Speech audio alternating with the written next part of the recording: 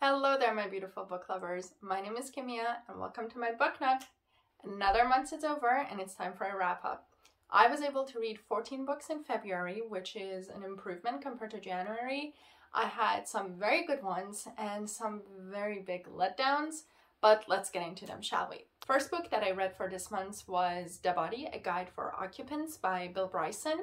This was a fascinating book. Uh, the book is really about everything that's happening with our body it's in different chapters and talks about everything that it's related to how the body works, how it can be affected, what's going on with it, and everything in between. It was a very interesting read because there were some part of it that at least for me, it was just like I was like, oh my god, I'm gonna pass out but generally it was really entertaining and at the same time very educational. It's a nonfiction, but at the same time, I felt that the way that he broke up the book into different chapters and sections, it was very well done. I kept it in a sort of a story mood that you're just following him through body moving from different part one to another and each chapter even though there are separate from one another. They're connected through something.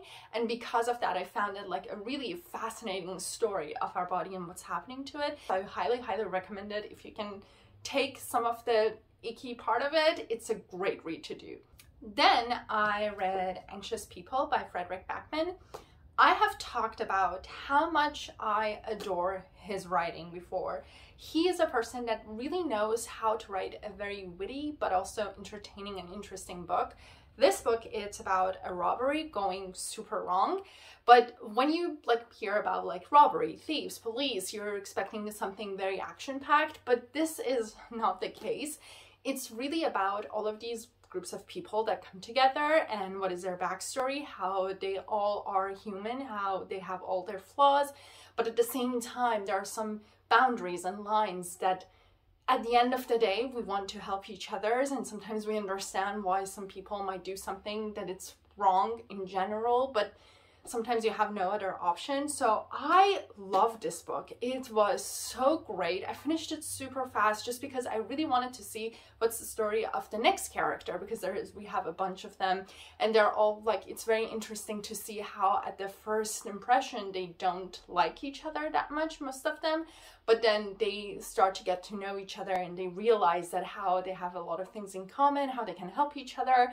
And so because of that, it was great. If you have not read any of his books, please do. They're just wonderful so so wonderful then after that i listened to binti by Nnedi Okorafor if i'm not wrong and then that book is a sci-fi it's about this young girl binti she's from a poor sort of a family and she's finally get this chance to attend this very prestige university to study.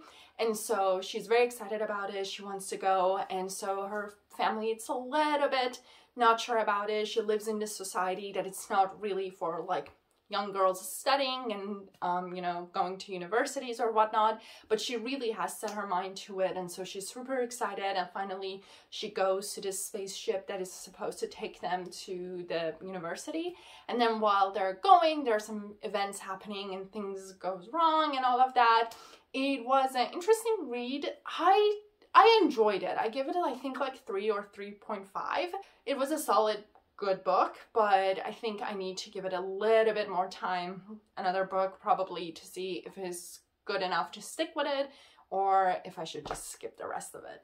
And then after that, I read The Beautiful Ones by Silvia Moreno Garcia. I loved uh, Mexican Gothic. I have mentioned that, I think, a thousand times already. And so I was very excited for this one. The cover, it's gorgeous. I loved it. And especially because like it was February and I really wanted to read a lot of different sort of romances. And this one, it has the element of romance, but it's also really about magic and fantasy and has those elements to it. It was a very entertaining read to do. There is one character that it's really just uh, I didn't know how to feel about her, But in general, I liked the story. I liked what it was representing. I liked how it played a little bit with the like the elements of magic and like fantasy and like everything that was related to it. And it wasn't like pure romance and it had that extra element for it.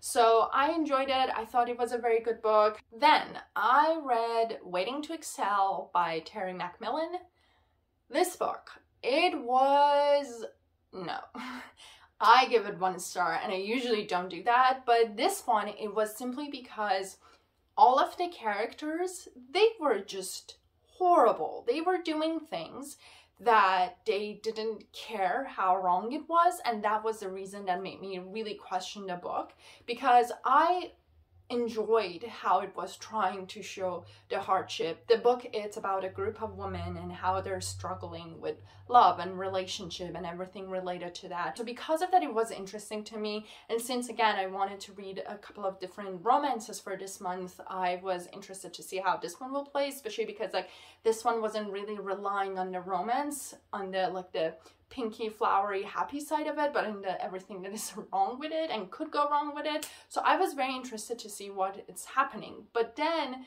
because of the acts that these characters were doing, I was just so put off. And so because of that, unfortunately, it was the first book that really let me down this month. And then I read The Dead Romantics by Ashley Poston. This book, it's cute. I enjoyed it. Uh, the book, it's about, we have this young girl, she's a ghost writer for a famous author, and so she is writing a lot of romance novels for her, and then she and her boyfriend, they broke up, and now she really believes that romance is dead. And so she doesn't know how to finish the last book that she's writing for this author. And then she needs to, because of different events, goes back home to the city that she used to live with her family. And there is this little extra thing about her. She can see ghosts. So it was adorable to really see these two characters coming together. How these two characters, we have the main character and then we have the ghost. Um, and it's it was nice. I felt the ending was a little bit, we could have wrapped it up faster, but all in all, it was still enjoyable. It was better than the last book that I read, so I enjoyed it. Then moving to the next romance, which was Bringing Down the Duke by Evie Dunmore. That one was another cute little book. It was sort of a kind of a combination of Pride and Prejudice with Bridgerton, if that makes sense in a sense, because we have the Duke, but also the Duke and our main character, they don't like each other. So we have this main character of ours and she has been finally able to come to this um, all-woman university and she's studying there. She's very excited about and she joined this group that are fighting for women's right. And um, because of that, she's given this mission to pursue the Duke to really use his power to push for women's right, for women's right to vote. And so she's trying to figure out how to do it, what to do. And so it was really interesting to see these two characters coming together and how they each learn something from one another and different perspective because like the Duke, he has been dealing with politics for quite longer than her.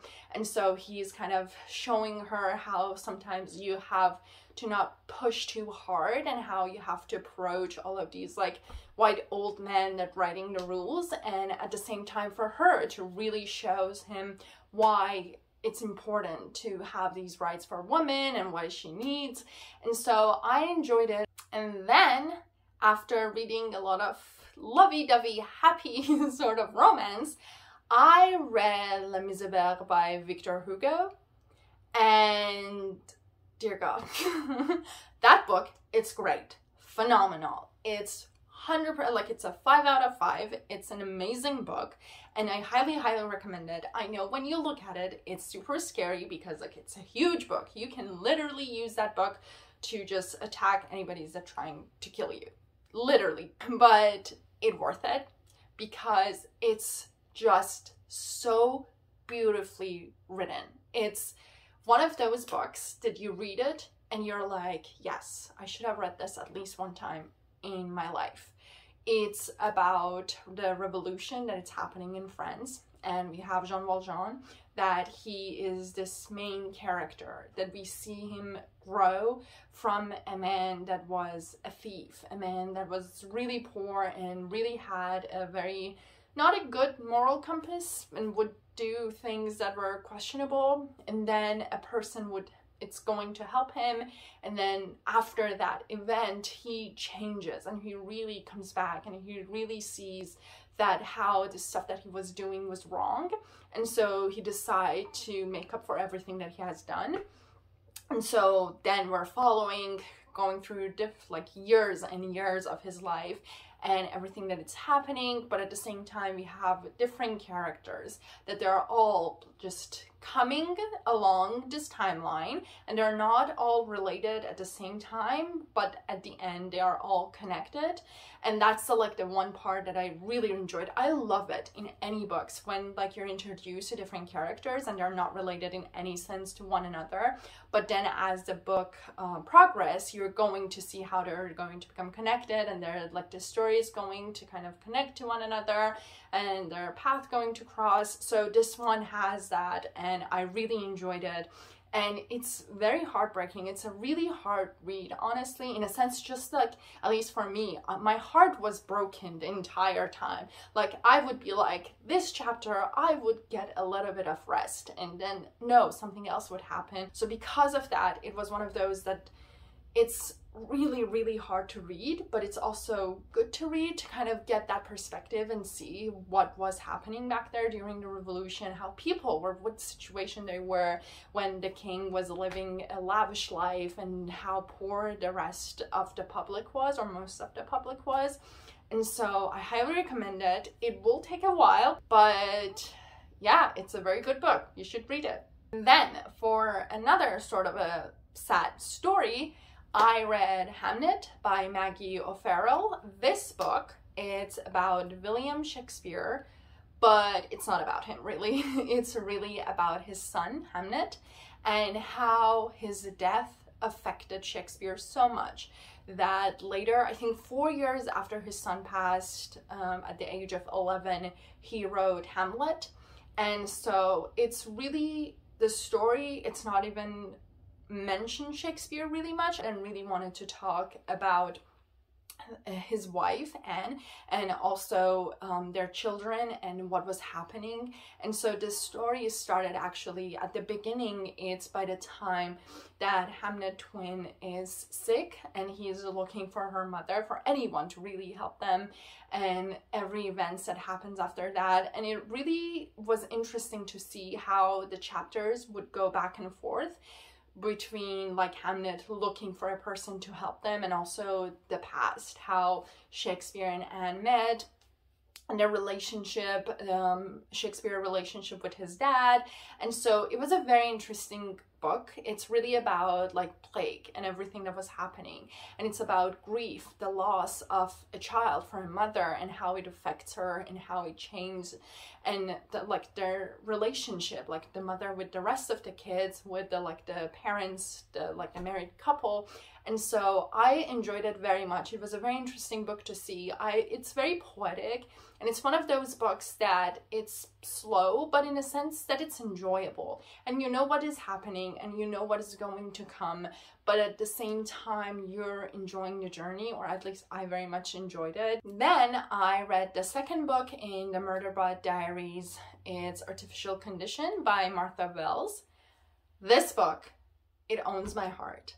Honest to God, I'm so glad that I came across this series and I honestly could not remember how. I think I was just like looking at Libby for a book that is available to just like listen to something and then it suggested uh, All System Red to me and then I just love this series. It's so good and it's very short, but it's so action packed and it's so witty and funny. And it's like these characters are so enjoyable that I never read any sci-fi books that it's like that. So that's the reason that I'm very much enjoying it. We have this like our Murderbot and now it's the story, the continuing of his story that now he has separated from his group and he's going on his mission to find what happened in his past and he goes on this ship and we um, meet a very lovely character. This character i loved him so much art. He is just one of those like sassy characters that it's a good sassy. Like you know some of those that you don't roll your eyes when they say something and you're just like okay you're trying to like be too mean. But like it's one of those characters that because he's also like a sort of a AI. He doesn't really has feelings. So anything that he's saying, it's simply because what he's feeling. And like to him, sometimes things that Murderbot or the like the humans that are there doing are so stupid that he's just like, what are you doing this or what's happening? And so because of that, I enjoyed it. Their relationship was just so beautifully done and action was really I, that's the thing that i love it the book start a little bit of a like a quiet it is explaining to you what's happening and builds up the characters to gives you a little bit of a sense of connection to them and then all of a sudden everything is going wrong every action that you can possibly imagining is just happening and then at the end, we have this sort of a conclusion for this part. I enjoyed it so much. I can talk about it forever.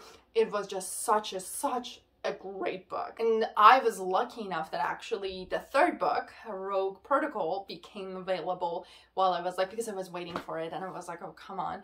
And then it became available. So I read that one as well. And this book, it's still very good, but it broke my heart because we meet another character and we have Miki and he's an adorable little robot that he has this sense of connection to his humans and he feels and sees them as like his friends. And so, because of that, he's so connected to them, cares about them, and everything is just so. You feel for him. He's like a child. He really is like a child. Like, even like Murderbot, he sees him as a child. And so, it's just so beautifully done. It's, I'm not gonna spoil why my heart was broken at the end because just read the book but it's again i am so loving this series so far. And like you know like how sometimes in a series especially a series that has more than like two three books it eventually will have one book that will let you down or at least is not as good as the rest. But this series so far has been great and i have been enjoying every single one of them and I highly highly recommend that if you like sci-fis or if you want to start getting into sci-fi it's a great one to start with. Then after that I listened to How to Think Like a Woman by Regan Penaluna and this book actually is going to come out later this year. Is it March? I think it's going to come out actually in March. Uh, but I was, thanks to NetGalley, able to listen to an advanced copy of it. So the story, it's about four main philosopher, women philosophers, and how they've been trying to prove themselves in a field that it's always has been so male dominant and they wanted to prove that like they have as much right to this field as any other man and any other person really and especially because the author herself she has a study philosophy and that's actually how she came up with this book and started her research on it because at the beginning when she was in her phd program she didn't realize how they don't study female philosophers much and how there are not even that many. And the ones that they are they are categorized into female philosophy or women philosophy and they don't pay attention or give the recognition that they deserve or are not put in the same even category despite the fact that they're studying the same things and it was fascinating especially because like name one field that has not been male dominant literally nothing nothing because women didn't have a right to study to like do anything really for centuries so because of that any field that it can come up and be like, yes, we do not have enough representation for women, for people of colors. But the thing with this one is that philosophy is something that you cannot really put it into science because you do not really work with like proofs. You know, there's mostly people really just bringing in their ideas and talking about it and try, trying to bring in some proofs about it, but there's not any hard proof because like with like with math, with physics, with biology. You can like bring up something, show, and like cut it open and be like, here it is. But philosophy is not that, and that makes it a little bit harder. And so, because of that, a lot of these philosopher, famous ones, they were like, yeah, women could not understand philosophy, their brain cannot handle it, they're not as smart, and they cannot handle to like go to universities, to college, they're not equal with men. And so it's really, and it, it made it so hard for women to join. But anyway, so it was very interesting to see that. But then I read Love on the Brain by Ali Hazelwood. In this book, this is the book that let me down. This is the book that got me so pissed that I just I couldn't. I couldn't finish it. And so let's let's go back. This book it's about Bee and Levi. They are two main character of our story that are going to work in NASA together to create and build this um, helmet for the astronauts, right? And then the story it's that Bee and Levi, they used to go to this school when they were doing their PhD together. And Levi was like two, three years ahead of Bee. And so they really had just like one year together. But during that one year, Bee got this feeling that Levi just she, he hates her and doesn't like her, doesn't want to do anything with her, and doesn't want to even like work with her in any of the projects or anything. And so because of that, when she gets offered this job, she's thinking about should she do it because it's going to be a, such a great opportunity for her career and her future, or she should like avoid it because Levi is going to be there and they're going to work together. So eventually she's like, nope, I will go. And then our story began, and we're going to get these two characters. But dear God, I, let's first say this, loved and adore Love Hypothesis. And I have talked about that like hundreds of times, so many times. And so because of that, I had such a high expectation for this book. And I wanted it to be as good, as great, to read it as fast and be excited about it. But then, let's take a deep breath because it just pissed me off already. And the thing is, okay, because before I say, I loved Levi and I actually loved him much more than Adam because with Adam from Love Hypothesis, you don't really get his backstory too much. You don't connect to him, or at least I didn't. I felt that like we could have get to know him more, but that was okay. I still enjoyed that book. But with Levi, he is such a sweet guy. And like, you know, one of those that sure he had issues with communication, but that's because of his past. And you actually get to know his past and why he was like that. So, you know, all in all, perfect character. But then we have Bee. And she's an adorable character, don't get me wrong, she is. But the issue is that I hated when we have character A and character B and character A thinks that character B hates her or him, but in this case, her. And she's just convinced because of everything that had happened. That's fine. Yes, I also sometimes feel somebody doesn't like me or something because the way that they treat me. That's fair. But then we have this entire time, things are happening, we're even talking, we're explaining that, you know, those were mistakes, I did something wrong, I didn't mean it like that, I like you, I love you, I was obsessed with you for years, and all of that. And yet, this character it's still in denial the entire time. It's like, no, I know this is not real. I know this is just a fling. I know that he's going to marry somebody else and I'm going to be heartbroken. And I'm just sitting there like, are you kidding me? And especially because this character, our Bee, she is super smart.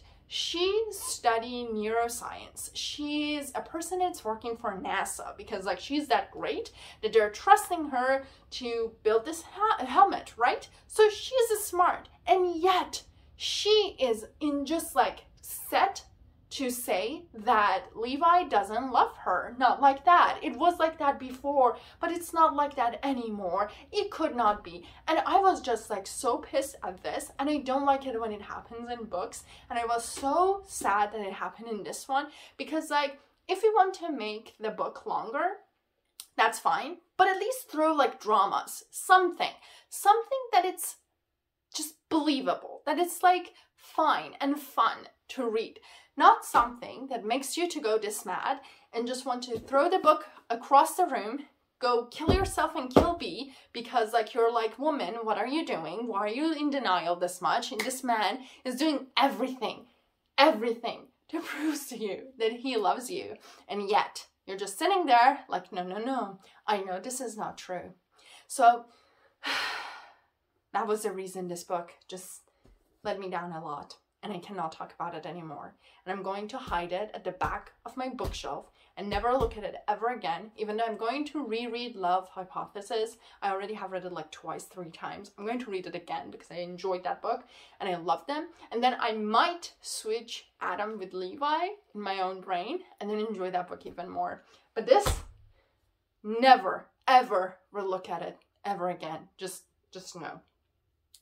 But anyway, and last book that I read for this month. I'm sorry, I got so worked up. I just, I couldn't. I needed to get it out.